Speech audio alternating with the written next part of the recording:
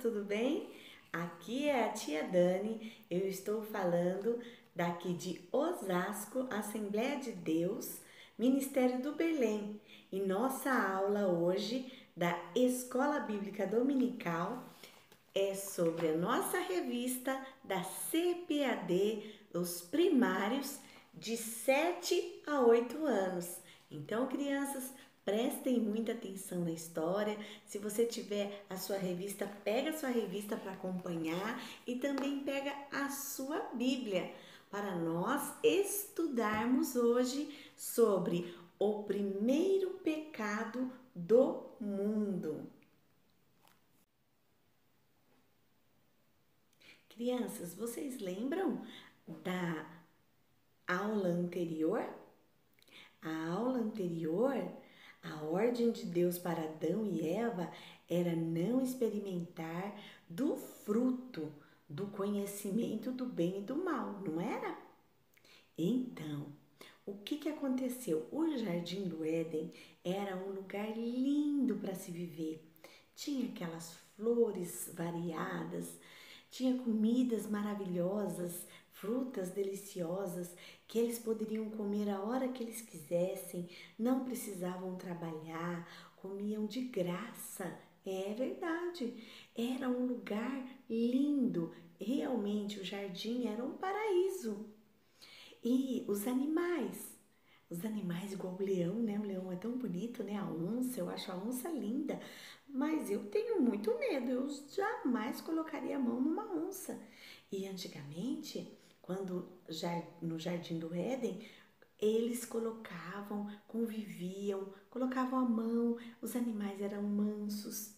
Só que um dia, sabe o que, que aconteceu, crianças? O diabo entrou no jardim em forma de uma serpente. Ele se, ele se apossou da, da serpente. E sabe o que, que ele fez? Ele começou a convencer, a conversar com Eva e falar para Eva: Eva, experimenta essa fruta, não vai acontecer nada. Eu tenho certeza que você não vai morrer. Sabe o que, que acontece? Deus não quer que você tenha uma visão de tudo. Sabia que quando você experimentar essa fruta, você vai ficar mais sábia? Você vai ver muito mais coisas? É, ele queria dizer para Eva que a Eva ia ser melhor, que Deus estava mentindo para Eva, que eles não iriam morrer. E sabe o que, que aconteceu, crianças? Eva caiu na história da serpente que estava sendo usada pelo diabo. E além de ela pegar e dar uma mordida na maçã, sabe o que, que ela fez? Vou mostrar aqui para vocês. Além de ela morder o fruto proibido, ela ainda deu para Adão comer. E você não acredita, ela ofereceu para Adão, contou a mesma história que a serpente contou para ela. E Adão acreditou. E também mordeu e também comeu. Ela falou: Olha, eu comi, eu mordi e eu não morri. Então, o que, que ela fez? Ela ofereceu para ele e ele também comeu. E olha a cara da serpente aqui, ó, usada pelo inimigo. Toda sorridente, porque tinha conseguido enganar Adão e Eva. Que terrível, né, crianças? E foi assim que o pecado entrou no mundo. O primeiro pecado foi o pecado da desobediência.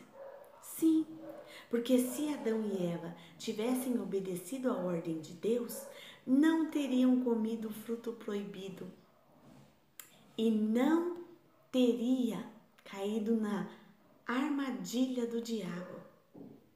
Então, o primeiro pecado foi o da desobediência.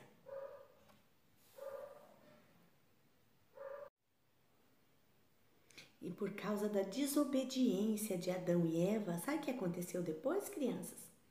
Depois que eles comeram os frutos, o fruto, realmente eles não morreram. Só que automaticamente eles viram, perceberam que estavam nus. Já perderam ali a sua inocência. E sabia, todas as tardes, Deus ele ia se encontrar com Adão no jardim. E neste dia não foi diferente. Deus chegou no jardim e não achou ele. Então ele falou: Adão, aonde você está? E sabe o que, que o Adão falou? Eu estou aqui. Ele, aonde você está? Ele falou: Quando escutei a sua voz, eu senti medo e senti vergonha. Por isso me escondi, porque eu estou nu. Então, sabe o que, Deus fez? Deus perguntou: Como sabes que está nu? Por acaso comeste do fruto proibido? Então, nessa hora, sabe o que, que Adão fez? Ele falou assim em voz alta: Deus, foi a mulher que tu me deste, que fizesse eu comer o fruto. Logo Eva, escutando isso, falou: Foi a serpente a serpente que me convenceu a comer o fruto. E por causa disso, crianças, sabe o que aconteceu? Eles tiveram castigo. Sabe qual foi esse castigo? Eles foram expulsos do jardim. Aquele jardim lindo, o jardim do Éden, na qual eles tinham comida, eles tinham boa convivência com os animais eles foram expulsos de lá. E quando eles foram expulsos de lá, eles tiveram, sabe o que? Tristeza. Por causa da desobediência, que foi o primeiro pecado do, que entrou no mundo através de Adão e Eva, eles tiveram tristeza, eles tiveram cansaço, porque eles tinham que trabalhar para poder se sustentar. E assim aconteceu. E sabe o que é pecado, crianças? É tudo aquilo que desagrada a Deus, que nos afasta de Deus. Por exemplo, falar palavrão, desobedecer o papai e a mamãe, querer colar na prova, fazer bullying com os amigos. É, tudo isso é feio, é pecado e nos afasta de Deus, porque o pecado, sabe, ele entristece o coração de Deus. Mas Deus, ele nos amou com tanto, tanto amor. Ele fez o homem e viu que era bom, e ele continuava amando o homem, mesmo depois de ele ter desobedecido. Então, sabe o que aconteceu, crianças? Ele deu o seu filho, o seu único filho, para morrer na cruz, para eliminar das nossas vidas o pecado. Então, crianças, vamos abrir nossas Bíblias agora? Pega aí sua Bíblia, ó, corre lá pegar sua Bíblia, que nós vamos ler o nosso texto áureo que se encontra em 1 Pedro capítulo 2, versículo 24, que diz assim: O próprio Cristo levou os nossos pecados no seu corpo sobre a cruz. E a partir deste momento, crianças, nós fomos purificados. Por isso que nós temos que aceitar a Jesus. Porque não basta Jesus Cristo ter vindo na terra e eliminado o nosso pecado, levado sobre o seu corpo toda a dor, toda a tristeza, toda a vergonha. Nós temos que aceitar é a Ele. Falar, Senhor, nós reconhecemos que o Senhor veio ao mundo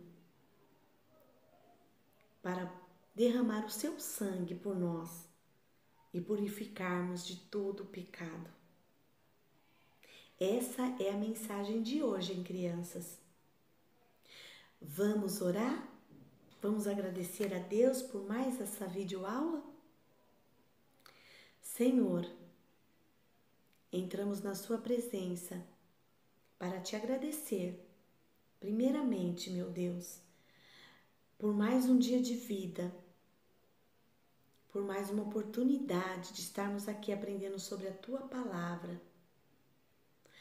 Muito obrigado por ter enviado Jesus Cristo para morrer por nós, para que nós possamos ter hoje a esperança de voltar a nossa comunhão com Deus, de estarmos hoje não mais no jardim, mas um dia encontrar com o Senhor face a face no céu e vivermos eternamente assim como o Senhor sempre quis, puros no jardim do Éden.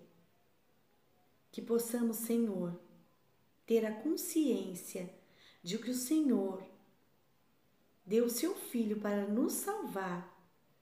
Senhor, ajuda-nos a não pecarmos, a não mentirmos, a não falarmos palavrão e a estarmos atentos sempre a estudar a tua palavra para que possamos ter sabedoria, Senhor, para não pecar e não entristecer o teu coração. Para quando o Senhor vier buscar a tua igreja, nós possamos estar juntos e subirmos para morar na eternidade. Muito obrigado por mais um dia, Senhor. Em nome de Jesus. Amém. Crianças, que vocês possam estar meditando nessa palavra até a próxima aula, querendo Deus. Em nome de Jesus. Tenham uma boa, um bom domingo, uma boa semana e que o Senhor possa estar conosco sempre. Em nome de Jesus.